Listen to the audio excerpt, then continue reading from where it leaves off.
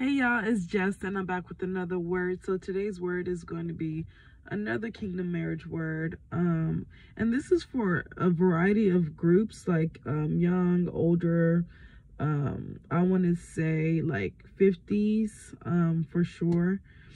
Um but yeah, like we are this is for people who were previously married and somehow got divorced or never met this person that God is going to bring to them or uh, to take you to them um and or have we're briefly together and um like my situation briefly um in contact and then separated. So um i'm gonna be in song of solomon too and i'm i'm really just gonna let the holy spirit like just go have his way. So we're gonna bless the word we're gonna bless our spiritual food before we eat it um, Father God, we welcome you in. Um, may this be a confirmation for others and or um, understanding and let you have your way. Okay, just use me, Lord. Let me be the vessel. In Jesus' name, amen. But I'm in Song of Solomon, um, chapter 2, and I'm going to start at verse 5. Um, and it says, Sustain me with cakes of raisins, refresh me with apples, for I'm lovesick. His left hand is under my head, and his right hand embraces me.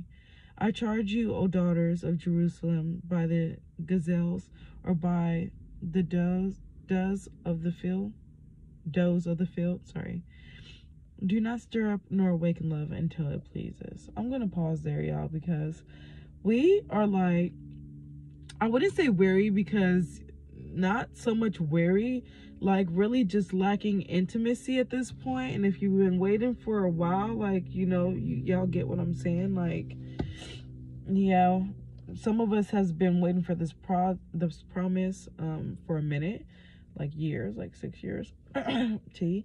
No, let me stop. But that or um we're just lacking intimacy and feeling like, okay, now, the verse 5 really speaks to me because it's like we want to hear some good news, Lord. Like we want to see some good news. We want to um, get some compliments. We want some physical touch, you know, here. Not, and I'm not talking about intercourse, you guys.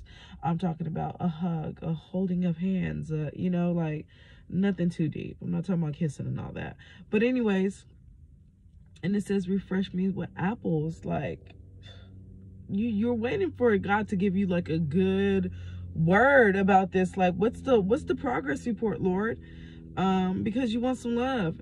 And it says his left hand is under my head and his right hand embraces me. So it's like you guys are looking back at what was and it's just like the lord is like just wait until y'all see what's to come okay? Because you're the past is not he didn't like that for you he said, I, I don't like that for you. I want you to have more, okay? Because you are literally the apple the apple of God's eye like and we have to realize this like this is our dad like this is the father we want the best for our kids. If you have kids and if you don't have kids yet you still want the best for your kids. And if you don't want kids at all i don't know what to tell you because we are to be fruitful and multiply honey. But anyways and it says i charge you o daughters of jerusalem by the gazelles or just i don't know how to say it or by does of the field. Do not stir nor awaken love until it pleases and it's like with this process i told you guys before like it's like when you're cooking like you don't want to just put the meat in the crock pot for an hour and take it out because baby is that meat done is it even and then even when the meat is like cooked like is it going to be tender or like you know you just we can't overdo it or underdo it with this and this is something that we really can't do only god himself can do. So the lord is like leave it alone. Don't wake that man up. Don't wake that girl up yet. Because baby or not some of us are not going to do anything at all but let god move on our behalf. But until it pleases is the very last three words of that of verse 7 and if you guys know the number 7 which i'm not talking about angel numbers because